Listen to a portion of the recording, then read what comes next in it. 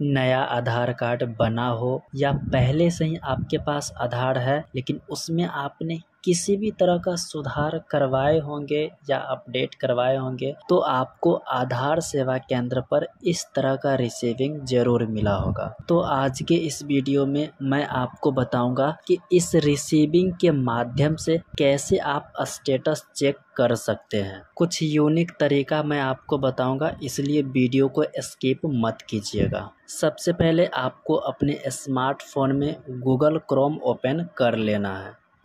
उसके बाद यहाँ पर आपको सर्च करना है my Aadhaar dot U I D A I dot G O V dot in. ये लिंक आप अच्छे से देख लीजिए, आपको बिल्कुल यही सर्च करना है। उसके बाद आपको सर्च वाले बटन पर क्लिक करना है। इस वेबसाइट का कुछ इस तरह से इंटरफेस आपको देखने को मिलेगा। तो यहाँ पर आपको थोड़ा सा स्क्रॉल अप करना है। और check enrolment and update status वाले ऑप्शन पर क्लिक करना है। यहाँ पर अब आपको इनरोलमेंट नंबर देना है, जो कि चौदह डिजिट का होता है। ये इनरोलमेंट नंबर आपको रिसिप्ट पे मिल जाएगा। तो यहाँ पर देखिए, जो इनरोलमेंट नंबर लिखा हुआ है चौदह डिजिट का, वही इनरोलमेंट नंबर यहाँ पर लिखना है। तो जैसे कि यहाँ पे है टू नाइन ज़ीरो सिक्स तो यहाँ पे मैंने लिख दिया उसके बाद four eight two two seven तो यहाँ पे लिख देना है four eight two two seven फिर यहाँ पे है double zero two zero seven तो यहाँ पे भी मैंने लिख दिया double zero two zero seven तो वो जो चौदह डिजिट का इनरोलमेंट नंबर था, वो मैंने यहाँ पर लिख दिया है। अब यहाँ पर देखिए लिखा हुआ है mention date and time as per the acknowledgement slip जो कि ऑप्शनल है।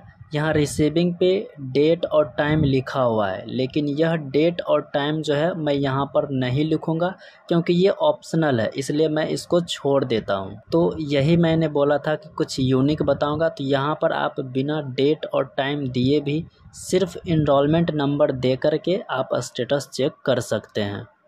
उसके बाद यहाँ पर जैसा इस बॉक्स में कैप्चा लिखा हुआ है, बिल्कुल उसी तरह से यहाँ पर आपको लिखना है। स्मॉल में है तो स्मॉल में कैपिटल में है तो कैपिटल में, और अगर नंबर है तो वो नंबर आपको बिल्कुल वैसे ही लिखना है।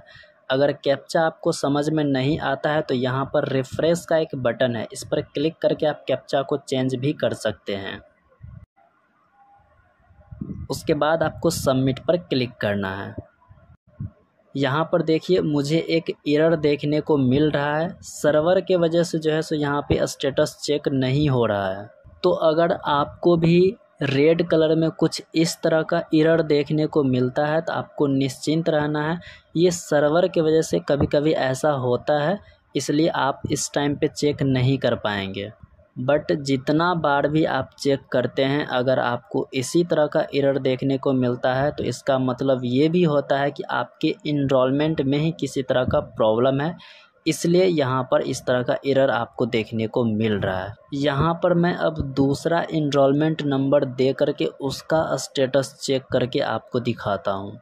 तो वापस से वही प्रोसेस को रिपीट करना है स्क्रॉल अप करना है और यहाँ पर check enrolment and update status पर क्लिक करना है। अब यहाँ पर जो मैं इनरोलमेंट नंबर दे रहा हूँ, ये दूसरे स्लिप का है तो वो इनरोलमेंट नंबर मैंने यहाँ पर लिख दिया है। अब डेट और टाइम मैं छोड़ रहा हूँ और डायरेक्ट जो बॉक्स में कैप्चा है, वो कैप्चा मैंने फिलअप कर दिया है। आप एक बार अच्छे से देख लीजिए। बिल्कुल आपके सामने में मैं कर रहा हूँ। उसके बाद अब यहाँ पर जो सबमिट वाला बटन है, इस पर मैं क्लिक करूँगा। तो देख लीजिए, यहाँ पर स्टेटस शो कर गया। यहाँ पर बता रहा है your Aadhaar has been generated यानी कि जो भी अपडेट किया गया था इस आधार में, वो सक्सेसफुल कंप्लीट हो गया है। यहाँ पर मैंने सिर्फ़ और सिर्फ़ इनरोलमेंट नंबर दिया है।